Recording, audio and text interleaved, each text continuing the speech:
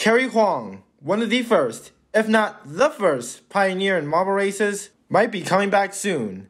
But what has led to this situation and why are they doing this? If you don't know, Cary Huang has a lot of different channels. There are the obvious ones like Carykh and jacknjellify. However, there are some that you might not know, like Abacaba and even Humany. Cary Huang made a community post on their channel talking about a form that they were going to do. It's a survey directed at the audience, which is you guys, where you fill out in order for Cary to understand his audience better. He even said it himself on his other channel, Humany. And you want to fill out this survey where I basically ask you a bunch of random questions about who you are and what you like to watch on YouTube. You might be wondering why Cary is doing this, and he couldn't have said it better himself. Basically, if you want to know the reason why I'm doing all this, well, I guess I mentioned in the post itself. Yeah, so I realized um, I think there's a lot of different types of content that I make on Carykh over the years, including the really old stuff like Algicosathlon and marble races and then and then there's the newer stuff like the um, machine learning stuff or the more meta YouTube experiments. Now you might have noticed something: Algicosathlon and marble races. If you were an OG like I was, you would know about these. Now that's great and all, but it doesn't really mean anything since he's not doing them now. His last video was in 2016. So why do I bring this up?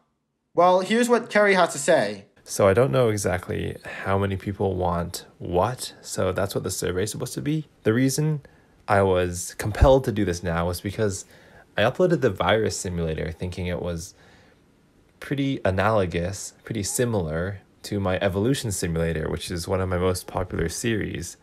So I thought the virus simulator would do well, but within a few hours, or maybe it was a day after uploading that, YouTube sent me a message saying, um, This video is performing worse than your typical videos.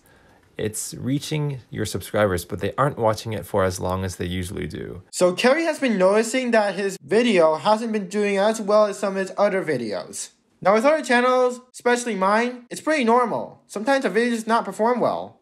However, I believe that Cary is thinking that maybe he was just bouncing around way too much with certain video topics, so maybe he had to do a survey in order to figure out what people liked and what they came to the channel for. he even confirms this by saying, This survey is supposed to just ask people, what do you want?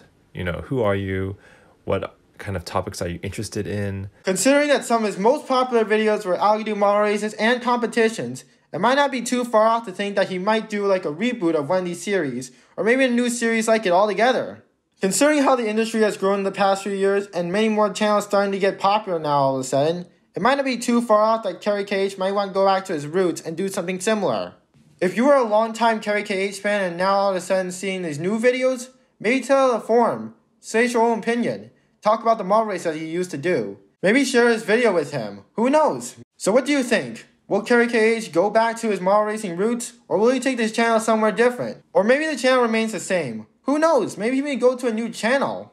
That's been my analysis of the Carykh channel. I guess there are some other videos I did about Carykh as well. Check them here.